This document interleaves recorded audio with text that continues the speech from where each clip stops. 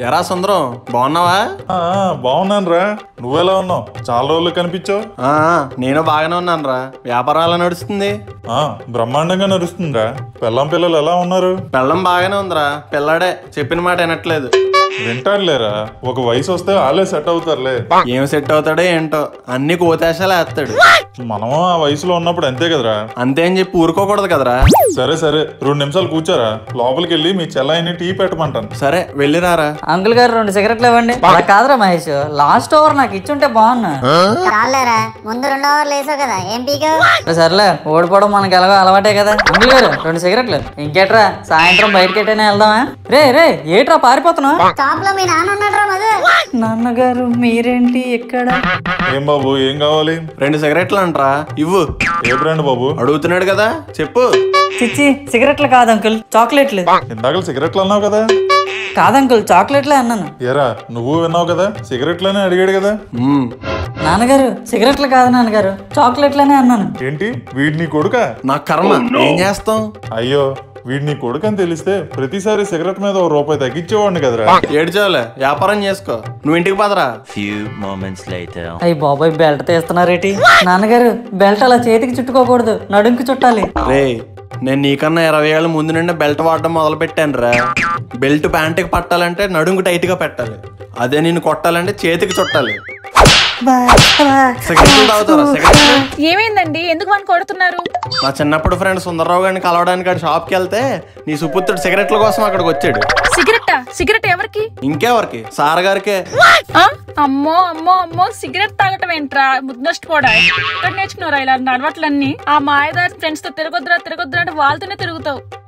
అమ్మా అంటే నన్ను నా ఫ్రెండ్స్ అనుకో. నాన్నగారు కొట్టకండి నాన్నగారు నొప్పి పెడుతుంది. నువ్వు పెట్టాలనే కొడుతున్నాను రా రే నీ సినిమాల్లో ఓవర్ యాక్షన్ ఇక్కడ చేయకు. ఇన్ని రోజులు ఈ సిగరెట్ వాసన ఎక్కడి నుంచి వస్తుందా ఎక్కడి నుంచి వస్తుందా అని నెతికాను ఇవాళ రెడ్ హ్యాండెడ్గా దొరికిపోయాడు. మర్యాదగా చెప్పు. సిగరెట్ ఒకటేనా ఇంకేమైనా అలవాట్లు ఉన్నాయా? చిచ్చి ఇంకేం లేవు నాన్నగారు. ఆ సిగరెట్ కూడా ఏదో సరదాగా సిగరెట్ సరదారా నీకు? తోలు తీసేస్తాను ఈ అతవ్వ అని అయినా ఈ మాయదార అలవాట్లు ఎక్కడ నేర్చుకున్నావురా?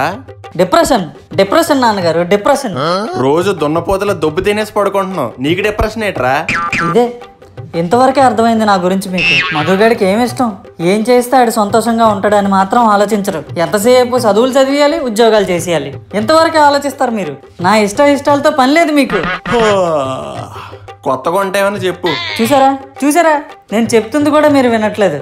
అందుకే నా బాధల్ని భావాల్ని ఆ సిగరెట్తో పంచుకుంటున్నాను నాకు అర్థమైపోయింది. ఏమర్థమైందండి? వీడి మైండ్ దొబ్బింది. నాన్నగారు! లేకపోతే బాధల్ని భావాలని సిగరెట్తో షేర్ చేసుకోవడం ఏంట్రా? నాన్నగారు నొప్పి పెడుతుందండి అందుకే కొడుతున్నాను రా ఎదవా అమ్మా ఆ తలుపు కొంచెం దగ్గరికి అయ్యే ఎదిరింటి ఆంటీ చూస్తుంది. నేనయ్యన్రా. ఆ సిగ్గు అలాంటి పనులు చేసే ముందు ఉండాలిరా ఇప్పుడు సిగ్గుపడి ఏం లాభం? ఇప్పుడు ఆ సుందరరావు గారు చూశాడు కదా? వెళ్ళి అందరికి చెప్తాడు. నా పరువు అంతా గంగలో కలుపుతున్నావు కదరా. నాన్నగారు ఈ ఒక్కసారి వదిలేయండి నాన్నగారు. మళ్ళీ ఎప్పుడు చేయను. ఏమే వీడికి ప్రెసెంట్ పాకెట్ మనీ ఎంత ఇస్తున్నావు? ముప్పై రూపాయలు ఇస్తున్నామండి పది రూపాయలు ఇవి చాలు. నాన్నగారు మరీ పది రూపాయలు ఏంటండి? పది రూపాయలకి ఏమొస్తుంది ఈ రోజుల్లో? నీకేం కావాలరా? ఆ? నీకేం కావాలి? సిగరెట్లు కావాలా? ఇంకెందుకు? ఒక వంద రూపాయలు ఇస్తాను. వెళ్ళి మందు కొట్టు. వంద రూపాయలకి మందు రాదండి. ఆహా ఆ రేట్లు కూడా తెలుసు అనమాట సార్ గారికి.